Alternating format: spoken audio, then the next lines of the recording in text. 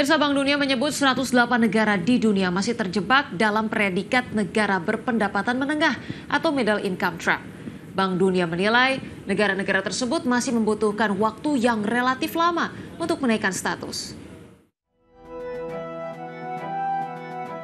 Dalam laporan World Development Report 2024, Bank Dunia menyebut terdapat 108 negara yang masih diklasifikasikan sebagai negara berpendapatan menengah atau middle income trap sampai dengan akhir tahun 2024 termasuk China, India, serta Indonesia. World Bank menyebut ke-108 negara tersebut masih terjebak dalam predikat middle income trap karena masih mengandalkan strategi lawas untuk beralih menjadi negara maju.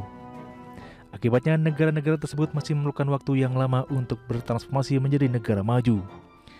Adapun negara-negara yang berpredikat middle income trap memiliki program bruto per kapita tahunan dalam kisaran 1.136 hingga 13.845 dolar Amerika Serikat atau sekitar 18 juta hingga 224 juta rupiah.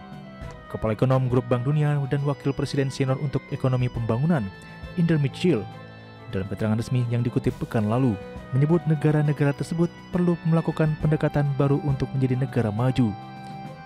Pendekatan tersebut yakni berfokus pada investasi, serta menambah penguatan pada pemasukan teknologi baru dari luar negeri termasuk menerapkan strategi yang menyeimbangkan investasi, pemasukan, dan inovasi. Bank Dunia menambahkan dengan kondisi saat ini, China akan membutuhkan waktu lebih dari 10 tahun hanya untuk naik level. Kemudian Amerika Serikat dan Indonesia hampir 70 tahun dan India 75 tahun. Berbagai sumber untuk IDX Channel.